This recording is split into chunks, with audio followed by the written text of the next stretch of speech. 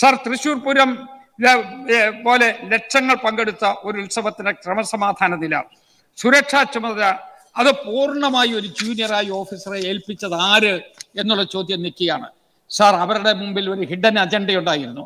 ആ hidden agenda Pooram കലക്കുക പൂരപ്രേമികളായിട്ടുള്ള ആളുകൾ നിശ്ചയമായും അന്നത്തെ ഒരു ആക്ഷൻ ഹീറോ ആയിട്ട് പ്രത്യക്ഷപ്പെടുന്ന ആളിനോടൊപ്പം നീങ്ങുക രാഷ്ട്രീയ ലക്ഷ്യം നേടുക എന്നുള്ള വളരെ ഗൂഢമായ ഒരു ആലോചനയുടെ അടിസ്ഥാനത്തിലാണ് ഈ പൂരം കലക്കുന്നതിന് വേണ്ടിയുള്ള നടപടിയെടുത്തത് സാർ ഇത് ഒരിക്കലും നമുക്ക് ഉൾക്കൊള്ളാൻ പറ്റുന്ന കാര്യമാണോ?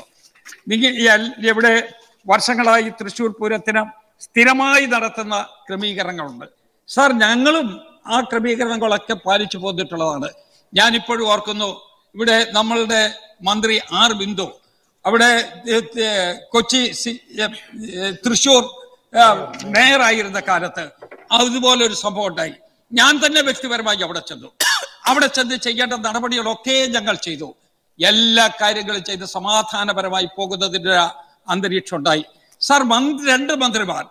ഈ മന്ത്രി നമ്മളുടെ പ്രിയപ്പെട്ട ശ്രീ റവന്യൂ മിനിസ്റ്റർ കഴിഞ്ഞപ്പോൾ രാജൻ അദ്ദേഹം കഴിഞ്ഞ പ്രാവശ്യം കൃത്യമായി ഈ കാര്യങ്ങൾ ചെയ്യുന്നതിന് മുൻകൈ എടുത്തിയാളല്ലേ? അതോടൊപ്പം തന്നെ അവിടെ നിന്നുള്ള മന്ത്രി ആർ ബിന്ദു ഈ കാര്യങ്ങൾ ചെയ്യുന്നതിന് കഴിവുള്ള ആളാണ് എന്ന് എനിക്കറിയാം പക്ഷേ ഈ രണ്ടാളുകൾക്കും പൂരം കലങ്ങിയപ്പോ ആ സംഭവ സ്ഥലത്ത് പോലും വരാൻ പറ്റിയില്ല.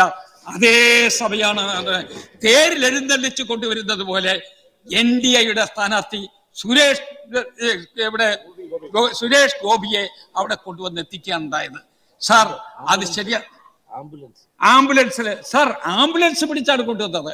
അവിടെ ആംബുലൻസ് പിടിച്ചാൽ സാർ അത് വല്ല രോഗി വല്ലതാണോ രോഗിയല്ലല്ലോ അപ്പൊ ഒരു ആംബുലൻസ് മനഃപൂർവമാക്കി പിടിച്ച് ആംബുലൻസിൽ കൊണ്ടുവന്ന് ഒരു ആക്ഷൻ ഹീറോയെ കാണിച്ച് നിങ്ങൾ പൂരരക്ഷകനാണ് ഇവിടെ സുരേഷ് ഗോപി എന്ന് വരുത്തുന്നതിന് വേണ്ടിയുള്ള പരിശ്രമമാണ് നടത്തിയത്. സാർ ഈ സമൂഹത്തെ ആ ആംബുലൻസിനെ കുറിച്ച് തന്നെ ആക്ഷേപമുണ്ട്. Ambulance R S S control ചെയ്യുന്ന ആംബുലൻസ് ആണ് എന്നാണ് സേവാഭാരതി. അവർ കൺട്രോൾ ചെയ്യുന്ന ആംബുലൻസ് ആണ് എന്താണ് കണ്ടത്? സാർ എനിക്കൊരു ചോദ്യമുണ്ട്. ഇത്രയും ലക്ഷക്കണക്കിന് ആളുകൾ കൂടുന്ന സ്ഥലത്ത് അവിടെ പോലീസിന്റെ അനുമതിയില്ലാതെ പോലീസിന്റെ നിയന്ത്രണമില്ലാതെ പോലീസ് എല്ലാ കാര്യങ്ങൾക്കും വഴി കാട്ടാതെ ഒരു ആംബുലൻസ് ഇവിടെ സുരേഷ് ഗോപിയെ പോലെ ഒരാളിനെ കൂട്ടിക്കൊണ്ട് അവിടെ വരാൻ പറ്റുമോ? അത് മനഃപൂർവമായി ചെയ്തതാണ്. മനഃപൂർവമായി ചെയ്തതാണ്. സാറ് അത് ഈ പൂരം കലക്കാനാണ്. സാർ ഇവിടെ പൂരം കലക്കി കഴിയുമ്പോൾ ഇങ്ങോട്ടൊരു ചോദ്യം കഴിഞ്ഞ പ്രാവശ്യം ചോദിച്ചു. ആ ചോദ്യം എന്റെ മനസ്സിൽ ഇപ്പോഴും നിൽക്കുകയാണ്. ഞങ്ങൾക്ക് കിട്ടാനുള്ള വോട്ട് കിട്ടി. നിങ്ങൾക്കുള്ള വോട്ടല്ലേ കുറഞ്ഞത്? സാർ ഞങ്ങൾക്കുള്ള വോട്ട് കുറയും എന്തുകൊണ്ടാ? ഞങ്ങൾക്കുള്ള വോട്ട് കുറയാൻ ഞങ്ങളുടെ ആളുകൾ പൂരസ്നേഹികളാണ്. പൂരം കലക്കിയതിലെ വിഷമമുള്ള ആളുകളാണ്. ആ പൂരം കലക്കിയതിലെ വിഷമമുള്ളപ്പോ പൂരത്തെ രക്ഷിക്കാൻ വന്ന ഹീറോ എന്നുള്ള നിലയിൽ സുരേഷ് ഗോപിക്ക് ഈ സ്ഥാനം ഉണ്ടാക്കി കൊടുത്തത് നിങ്ങളാണ്. മനഃപൂർവമാണ്. അതാണ് നിങ്ങൾ കേരളത്തിൽ വീഡിയോയുടെ വഴങ്ങണ്ട വഴങ്ങണ്ട. സമയം പോവും. സമയം പോവും. വെറുതെ സമയം തരില്ല. ഫസ്റ്റ് തന്നെ വഴങ്ങിക്കഴിഞ്ഞാൽ കിട്ടില്ല. മന്ത്രിയല്ലേ സാർ? ഉത്തരം പറയേണ്ട ഒരു മന്ത്രി ആയതുകൊണ്ട്? ആയ തിരുവഞ്ചൂർ പൂരപ്രേമികളെ രാഷ്ട്രീയ അടിസ്ഥാനത്തിൽ തരംതിരിക്കുകയാണ്. എങ്ങനെയാ എനിക്ക് മനസ്സിലായില്ല.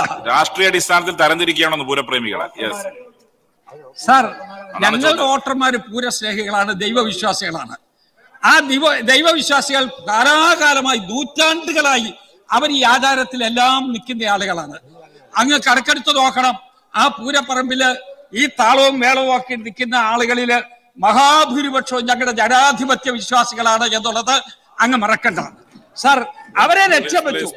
നിങ്ങൾ അവരെ ലക്ഷ്യം വെച്ചുകൊണ്ടാണ് ഈ നടപടി. നിങ്ങളുടെ ലക്ഷ്യം എന്താ? നിങ്ങളുടെ ലക്ഷ്യം രക്ഷകനായി വന്നിരിക്കുന്ന സുരേഷ് ഗോപി. എനിക്ക് സുരേഷ് ഗോപിയെ കുറിച്ച് വ്യക്തിപരമായ ആക്ഷേപമൊന്നുമില്ല. പക്ഷെ എൻ ഡി എയുടെ സ്ഥാനാർത്ഥി സാർ എൽ ഡി എഫിന്റെ സ്ഥാനാർത്ഥി സുനിൽ കുമാറിന് കൊടുക്കാത്ത ഒരു പ്രാധാന്യം നിങ്ങൾ എൻ ഡി എയുടെ സ്ഥാനാർത്ഥിക്ക് കൊടുത്തത് ഈ സ്ഥാനാർത്ഥിയെ ജയിപ്പിക്കണം എന്നുള്ള ഉദ്ദേശത്തോടു കൂടിയാണ്. ആ ഉദ്ദേശത്തിൽ നിങ്ങൾ നേടി. നിങ്ങൾ രക്ഷപ്പെട്ടു. ഞാൻ സത്യം പറഞ്ഞാൽ നിങ്ങളുടെ ലക്ഷ്യം നേടിയല്ലോ. എന്നുള്ള ഒരു ചിന്ത നിങ്ങൾക്ക് ഉണ്ടാകും എന്ന് ഞാൻ വിശ്വസിക്കുകയാണ്. അതുകൊണ്ട് ഒരാ ഇവിടെ മുഖ്യമന്ത്രി പറഞ്ഞു ഇതിനെക്കുറിച്ച് അന്വേഷിക്കുമെന്ന്. ഒരാഴ്ചക്കുള്ളിൽ റിപ്പോർട്ട് മേടിക്കുമെന്ന് പറഞ്ഞു. സാർ ഒരാഴ്ചക്കുള്ളിൽ റിപ്പോർട്ട് മേടിക്കുമെന്ന് പറഞ്ഞിട്ട് അഞ്ചു മാസം കാത്തിരുന്നു. ആരാ റിപ്പോർട്ട് കൊടുത്തത്? ഈ കലക്കുന്നതിന് പ്രതിയായി നിന്ന ഈ അജിത് കുമാറിന് കൊടുത്ത ഒരു റിപ്പോർട്ടിന്റെ പുറത്താണ് പിന്നീട് ഗവൺമെന്റ് നീക്കിയത് എന്നുള്ള യാഥാർത്ഥ്യം അങ്ങേർക്കറിയില്ലേ അങ്ങേക്കതറിയുമല്ലോ. ആ റിപ്പോർട്ട് അജിത് കുമാറിനെയും അദ്ദേഹം നിർദ്ദേശം കൊടുത്ത് ഈ ഗൂഢപ്രവർത്തനത്തിന് നേതൃത്വം കൊടുത്ത ആളുകളെയും സഹായിക്കുന്നതിന് വേണ്ടി ഉണ്ടാക്കിയ തട്ടിക്കൂട്ട് റിപ്പോർട്ടിന്റെ പുറത്താണ് നിങ്ങൾ ഇപ്പോഴും പിടിച്ചു നിൽക്കാൻ ശ്രമിക്കുന്നത്. ശരിയാണോ? സാർ ഇതിപ്പോ ഏറ്റവും വലിയ വഞ്ചനയോട് കൂടിയ ഒരു സമീപനായി പോയി നിങ്ങൾ ഇടതുപക്ഷ ജനാധിപത്യ മുന്നണിയെ വഞ്ചിച്ചോ?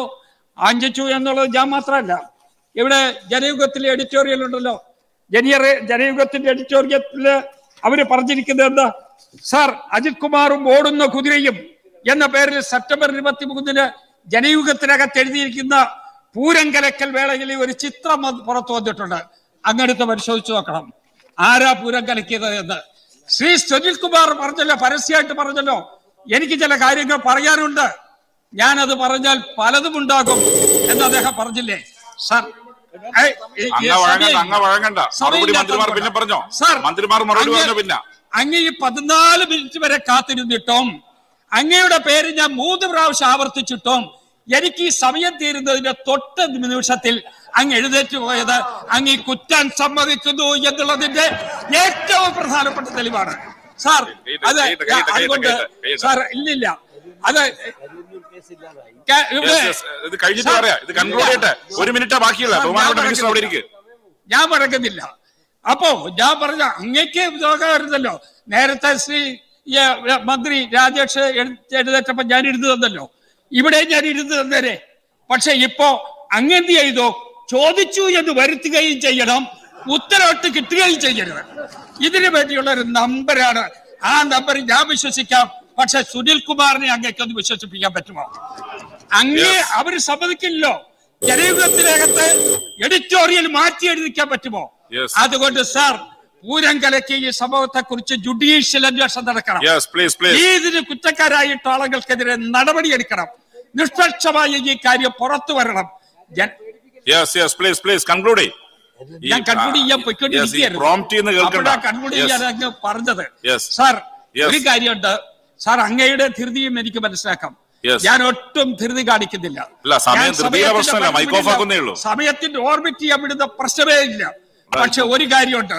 ഇത് നമ്മുടെ സമൂഹത്തിൽ ഉണ്ടാകരുത് ലക്ഷക്കണക്കിന് ആളുകൾ വന്നു ചേരുന്ന മതനിരപേക്ഷതയുടെ ഒരു സമൂഹം ഒരുമിച്ച് ചേരുന്ന കേരളത്തിലെ മതനിരപേക്ഷതയുടെ ഒരു മുഖമായി നമ്മൾ കാണുന്ന ഒരു മഹാസംഭവത്തെ കലക്കിയതിൽ ജനങ്ങളുടെ മുമ്പിൽ പ്രതിക്കൂട്ടിൽ നിൽക്കുകയാണ് ഈ ഗവൺമെന്റ്. അതുകൊണ്ട് തന്നെ. ജുഡീഷ്യൽ അന്വേഷണം നടത്തണമെന്ന് ഞാൻ ഒരിക്കൽ കൂടി ആവശ്യപ്പെടുന്നു.